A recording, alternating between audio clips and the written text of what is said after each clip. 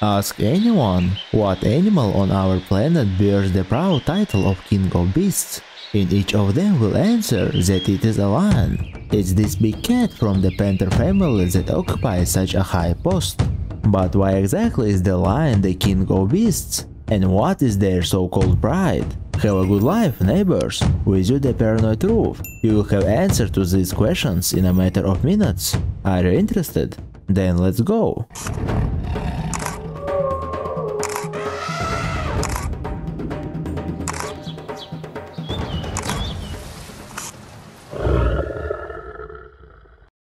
Many people wonder why the lion is the king of beasts and not the tiger. After all, the tiger is larger than the lion, but it's not the holder of this honorable title. Although the tiger is slightly larger than the lion in size, it's the lion that is at the top of food chain throughout the animal kingdom. That's why the lion is the king of beasts and the tiger is not.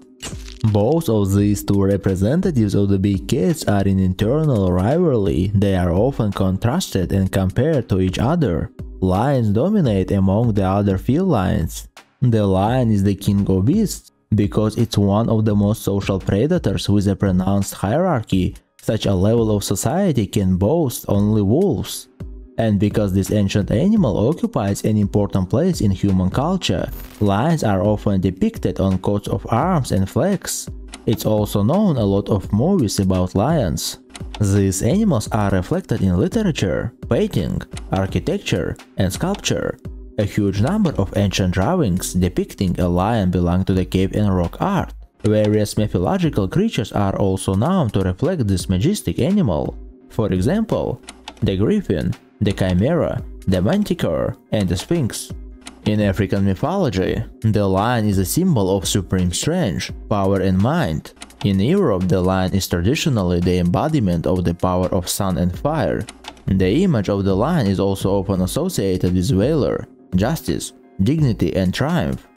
The image of the lion has long been the personification of strange majesty, pride, nobility and courage, after all, the lion is the king of beasts. Why is a pack of lions called the pride in the first place? It's a quirk of language. In English, many animal groups are named based on some virtue or vice or other idea associated with the animal. Lions were traditionally seen as regal and elevated, so their group is called a pride. The core of the pride is made up of 2 to 18 lionesses, usually close relatives with their own territory. A lioness always inherits her mother's territory. The lionesses of the pride don't establish hierarchical relations among themselves at all. Together with them live several lions, among which one is the dominant. He is not always the strongest, but the other lions recognize and don't challenge his supremacy. He is the first to eat after a successful hunt, the first to mate with females during heat, the first to attack an enemy lion that has invaded the territory of the pride. There can be up to 40 animals in a pride, but the average number is about 13.